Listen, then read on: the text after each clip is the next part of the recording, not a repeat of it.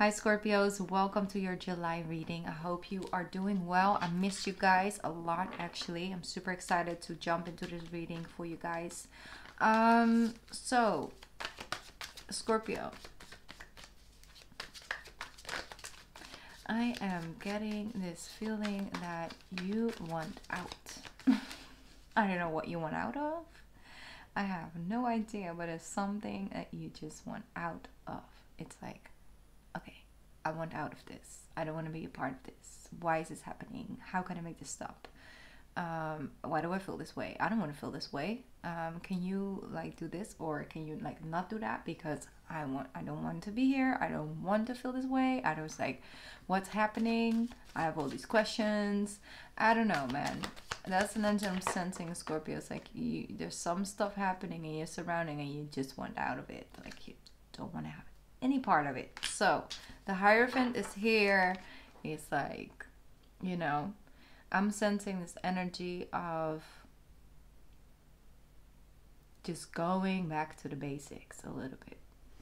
You're going back to the basics because I'm sensing with this third house energy um, that you have activated on this full moon coming up on 13th of July. You just had your ninth house activated with the new moon in, um, you know, in Cancer, obviously, because we're in Cancer season, your fellow water sign energy. So I'm sensing that it's playing out of like, I need, maybe you're feeling stimulated to like learn something. Um, you know get more educated on something uh, read certain books read certain um, you know articles about about a certain subject. Like you really want to sort of find i'm something that has to do with like a higher level of knowledge like a higher education higher learning something beyond what you would learn in like a, a, regular school system. It's like you want to sort of go beyond something. You want to learn to understand something on a, on a more,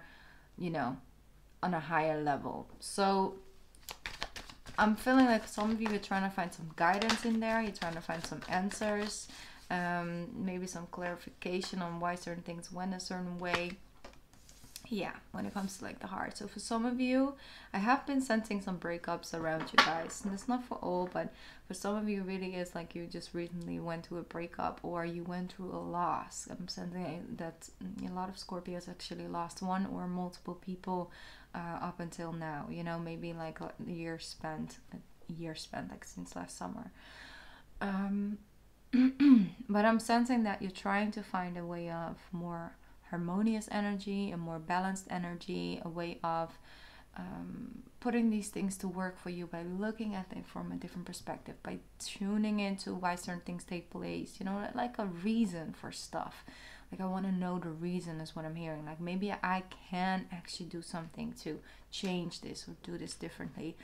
So, for some of you it's really like has to do with just being intrigued and having fun and it's not that deep but it's like intriguing at the same time and it's just you know keeping your mind occupied and it's enlightening some things within you and for other people it's more deeper than that here we have the magician so i am sensing that by actually reading into situations where maybe normally you wouldn't want to look back on, you wouldn't want to contemplate too much upon. Um, you're now actually doing, you're gaining um, the knowledge and the things that you have to clear your mind, to feel more balanced, to feel more at peace, and then come forward again and move forward again. So you really are going to find whatever you are looking for this time. If you're looking for a little bit more fun, if you're looking for a little bit more adventure, if you're looking for a little bit more information, if you're looking for a little bit more faith, you are going to find wherever you are looking for, Scorpio. That's what I'm sensing. And you're going to feel a lot more balance when it comes to that. So you have the Ten of Wands coming through together with the World card. So yes, it's like you don't have to carry the entire world on your shoulders. You don't have to fix all the problems, okay? You really don't. So let the world carry itself for a little bit. Now I know that there is a lot going on, okay? And there's a lot happening in the world, and it is sad that um, you know these type of platforms that we are on, where we are connecting and we're communicating, um, are so censored. and then we cannot really go too much in depth about things otherwise you know certain reasons um, that by itself is sad. Uh, you know really sad. So a lot of times there's a lot of limitations about what we can actually say. But i do want to you know acknowledge that it isn't easy to be a part of this world at this moment in time. For not anyone on this planet is it's like completely easy breezy flowing because there are such major things happening um, and changes that are being made which feels like we're taking a hundred steps back in time. And it just gets to you you know? And for some people it they're better off putting it in such a way where you know it's not really necessarily getting to them that deeply but it is a thing. And during cancer season we feel things much more intense and things just come in and they're fine and it's water and it's okay and we deal with it and then woof we just get you know hit with the biggest wave that we weren't see we, we just didn't see coming basically. And you guys are comfortable with water. I understand you know? You do know the the, the ocean of emotions. You get it. Um, but I'm sensing that on in certain moments in time where you wouldn't expect to be completely, you know, um, consumed by the water, you will find yourself being completely consumed by the water. So that is a thing by itself that it's okay not to feel okay.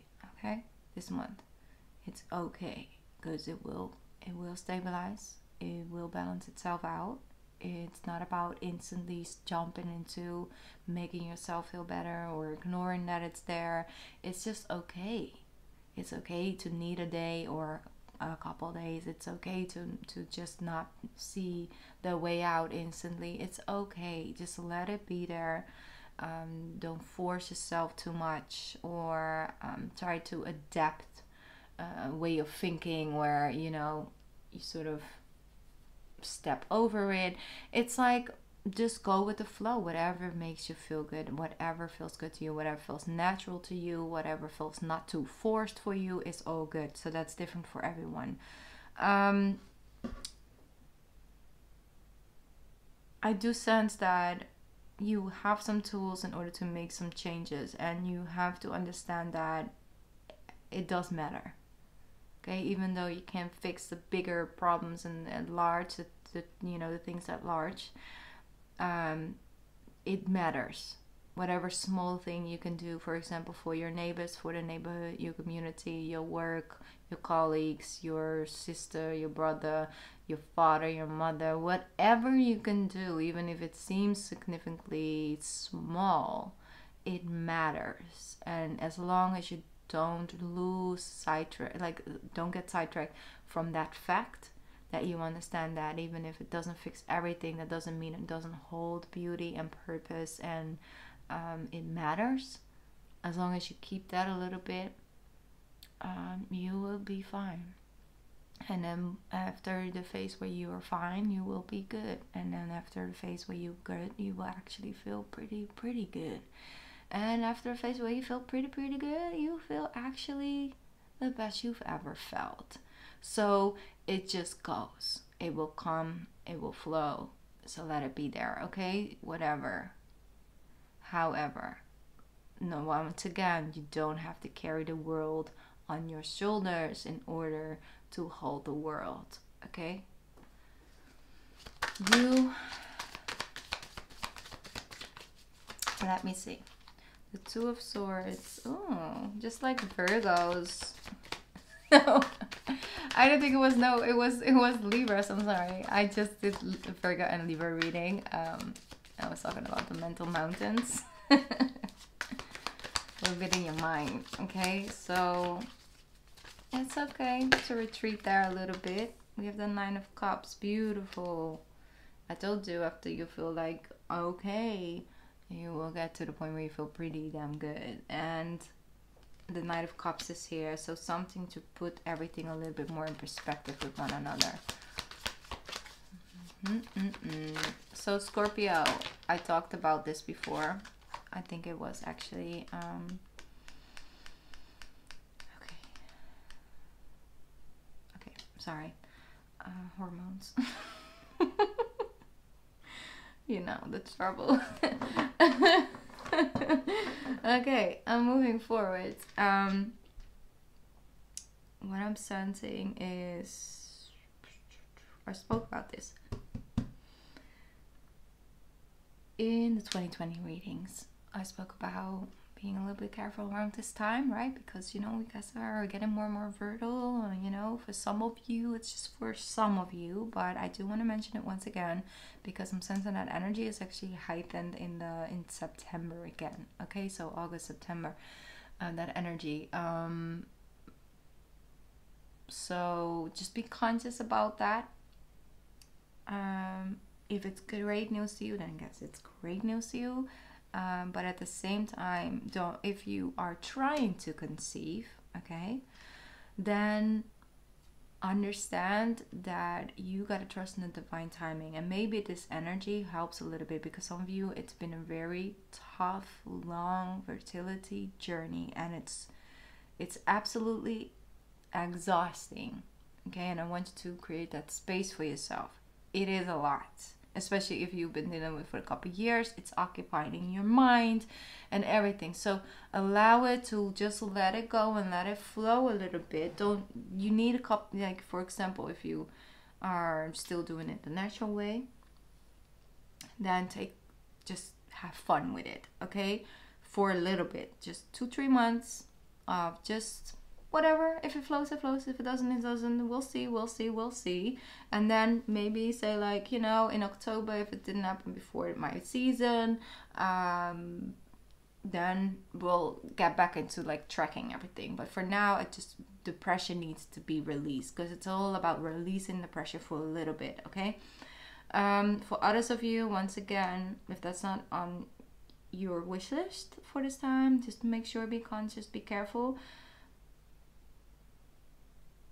there's something that I really want to say, but I cannot say it. Um, okay, how to put that in a way where it's generalized. Be very conscious about the way you are preventing it from happening, especially if you intake stuff for it, because there's something I've been downloading for a couple of weeks now that might not be completely, you know, 100% trustworthy. So do the extra, the extra things that you can do. Do the extra things. If like once again, if it's not your wish list, okay. Now there I put it out in the most general way. Let's hope and pray that that wasn't an issue. I'm just saying. I wouldn't be surprised if we have some news coming up in, a, in maybe like a year now where it, it figured out it wasn't really trustworthy, but okay. Let's move forward because we got other stuff to talk about. People like I, I don't even want. I'm already at over the age of kids and things like I don't, I don't, I don't. That's not my journey. So let's move forward. Let's generalize things again a little bit here and there. Um, if you are, however, on a fertility journey, you really are going through the ringer, I'm sending you one big hug, and you are a powerhouse of a woman or a man you know, or everything above and in between. You're a powerful, beautiful soul, and you will receive, you know, it will come into your life in divine time. It will, it really will. I have seen miracles happen, okay? All right, here we have the beautiful Ace of Cups. Don't worry about the things that aren't working out because, oh, there's something so much better for you, Scorpio. Trust the universe on this one. So much better. so much better. Here we have Justice, Seven of Wands, and the Queen of Cups. Protects what protect what's yours, but don't overdo it. Okay? Don't overdo it. Mm. All right.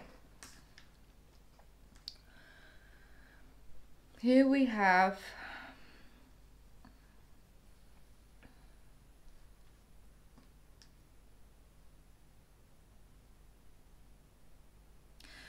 I feel like this is a, you know, this energy of doing it all for love, okay? Like doing it all for love. And I feel that from a place of unconditional, instinctual, instinctual is that a word? I don't know. It's like you know, coming from your primal instincts, like for example, as a mom or you know, as a, as a daughter wanting to protect your mother or father or you know parents or grandmother or whatever like this primal instinct of love. It comes from the heart. It comes from you know wanting to protect. I'm sensing there's something you're trying to protect that honestly is already so insanely protected that you kind of are sort of focusing so much on uh, the you know putting up your barriers and protecting that kind of you lose sight of how it should feel and that's just harmonious and love and just enjoy what you have what you have what you have instead of sort of overly focusing on what else can you know can come and take it away. And like you know and so i'm sensing that understand i just want to give you the message that it's already so spiritually protected. You don't have to go out of your way. So i'm sensing someone who might actually be so afraid of losing um, their partner um, to another person or whatever like it's what you're afraid of that you're starting to maybe you know control not control um, double check on things. And this could also be something that's more you're on the other side of things like some you have a person who's very afraid of losing you so they kind of sort of overly act jealous or act like you know want to double check things because i don't know it's because it's out of fear of losing right um, it's basically um, you know, fear of commitment and then fear of losing, you know, the commitment. So that's um abandonment issues. Okay, so I'm sensing that understand that it's already divinely protected. So if it's not divinely guided anymore and it's not supposed to stay, then it will one in one way, shape, or form leave. But then at least once it does, you still have had those moments and you really got a chance to take it in instead of you know we're out in the field all day and instead of actually being close to that cup right being close to the emotion so it's it's not like it has to be either or. It doesn't have to be completely letting everything flow and not even putting any mind. No it's of course you know you gotta uh, be a little bit conscious. Tune in understand that if something's off your intuition will let you know okay? It will let you know. So, right. So, overall, I'm sensing that through going with the flow and actually tuning into looking at things from a different perspective, um, opening up your heart and your energy again. Um, I'm really sensing that and by the end of you know July, you're in such a better space, had space, but also just overall back into the heart. Um, Scorp. So that's really good. Okay, one more card, the Angel Answer cards. What do we have? Well, no, it's the Angel Messages deck, but... Okay, so you have fair decisions and you have two of action. Trust in your ability to make excellent choices. There, there's opportunity all around you if you just continue to move forward. It may be time to take on a new partner who can help you be a success in your career or your creative endeavors. Keep your eyes on the bigger picture rather than the details of the moment. That's so accurate. The angels always lurking in my reading. just saying, these orc cards always like burning on the sideline. Like, can I now just, you know, spread a little extra magic? He could say, Your angels are aware that you have concerns, but be assured that there's nothing to worry about. Stand your ground and know that heaven is shining its divine light up on the situation and is all being healed. told you, way more protected. Situation way more protected than you might think. All right. Um, take the time to review all the details truthfully um, forgiveness will bring peace to everyone involved. All right, beautiful. Number eight, that's my lucky number. it's my birthday of my birthday. Um, but it's such a powerful energy because you guys are the you know, eighth sign of the zodiac. So it just overall just brings the whole cycle back together. So one day at a time and understand that there's nothing to worry about. Stand your ground, obviously, with the Seven of Wands as well. And know that heaven is shining its divine light upon the situation and all is being healed. You need to understand that there are certain things we have to stand in your truth and have to speak your mind, but there are also certain things that the universe will come in and heal for you if you decide to work with the energy of forgiveness and letting things go, not, you know, forgetting, not letting someone back in. It's about letting the anger go so the wisdom and the lessons can flow. Okay, and good karma can also come to you. So.